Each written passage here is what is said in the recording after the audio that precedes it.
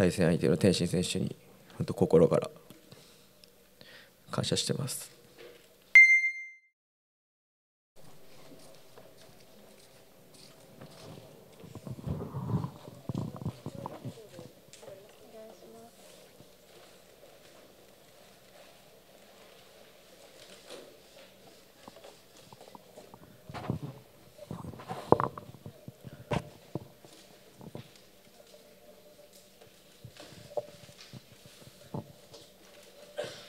えーそれでは、タケル選手の試合後インタビューを始めたいと思います。よろしくお願いします。えー試合を終えたばかりですが、率直な感想をお聞かせいただけますでしょうか？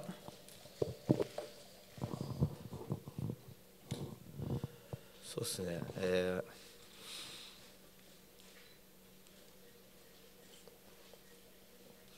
えーなんだ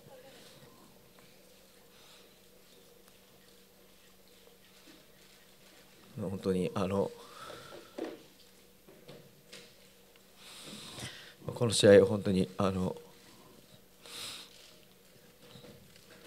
実現できたことと実現してくれてた実現するために動いてくれた人たちと支えてくれた人たちと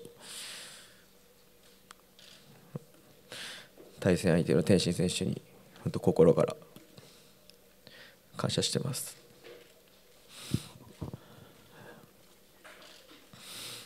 僕を信じてついてきてくれたファンの人たちだったり K1 ファイターたちだったりチームのチームのみんなだったり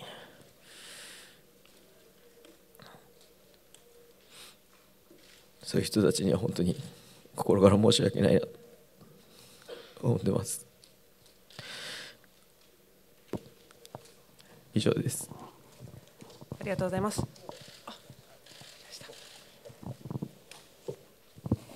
ありがとうございましたタケル選手はこちらで終了となります。申し訳ありません。よろしくお願いします。お疲れ様でした。